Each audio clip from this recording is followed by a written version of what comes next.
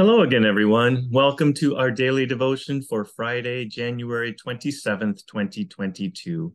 Thank you so much for spending this time with me in God's Word today, as together we grow in our faith and in our knowledge of Jesus Christ as our Savior.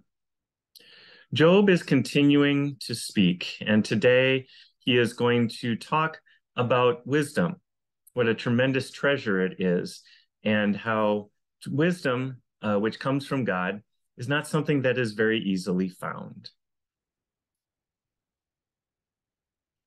Surely there is a mine for silver and a place where gold is refined. Iron is taken from the ground and copper is smelted from ore. A miner puts an end to the darkness. He probes the deepest recesses for ore in the gloomy darkness. He cuts a shaft far from human habitation, in places unknown to those who walk above ground. Suspended far away from people, the miners swing back and forth.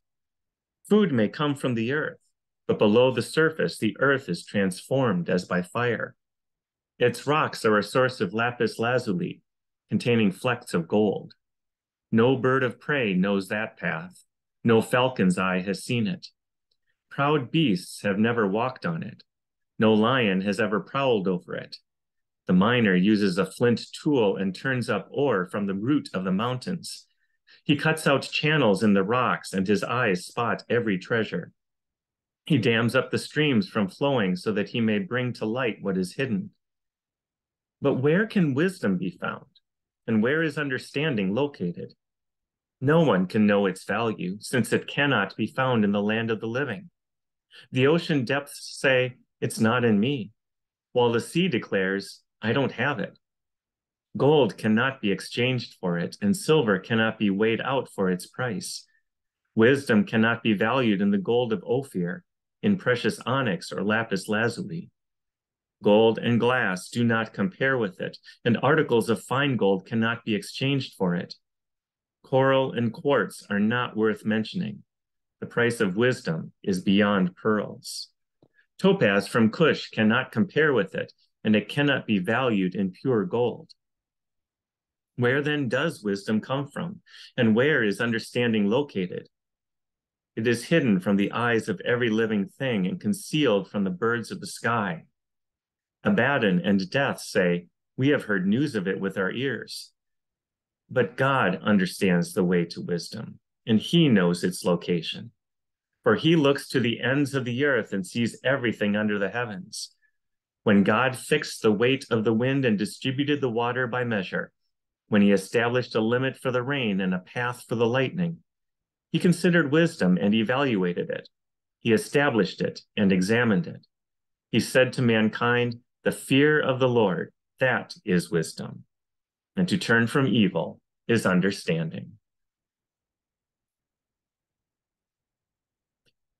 For two chapters now, Paul has been encouraging the Christians in Corinth concerning their desire for spiritual gifts. He talked about the variety of spiritual gifts that God has in his church, and yet in even in that variety there is unity in the church just as a, our bodies are one body yet made up of many parts with all the parts serving different purposes and performing different functions then in chapter 13 Paul talks about the motivation behind the use of any spiritual gift, and that is love. Without love, no spiritual gift is worth anything. But with love, then these spiritual gifts are going to be worth a lot and be able to serve other people. And that really is what leads us to the conclusion of Paul's discussion of spiritual gifts here in chapter 14. Paul encourages the Christians in Corinth to pursue spiritual gifts but especially those that can be used in service to others. Prophecy is one of those gifts. Prophecy is the proclamation of God's word. When you proclaim God's word to others in ways that they can understand, then they are built up, they are encouraged, and that is a wonderful way that you can show love for your fellow person. Pursue love and desire spiritual gifts and especially that you may prophesy. For the person who speaks in a tongue is not speaking to people, but to God, since no one understands him. He speaks mysteries in the Spirit. On the other hand, the person who prophesies speaks to people for their strengthening, encouragement, and consolation. The person who speaks in the tongue builds himself up, but the one who prophesies builds up the church. I wish all of you spoke in tongues, but even more that you prophesied. The person who prophesies is greater than the person who speaks in tongues, unless he interprets so that the church may be built up. So now, brothers and sisters, if I come to you speaking in tongues, how will I benefit you unless I speak to you with a revelation or knowledge or prophecy or teaching? even lifeless instruments that produce sounds, whether flute or harp, if they don't make a distinction in the notes, how will what is played on the flute or harp be recognized?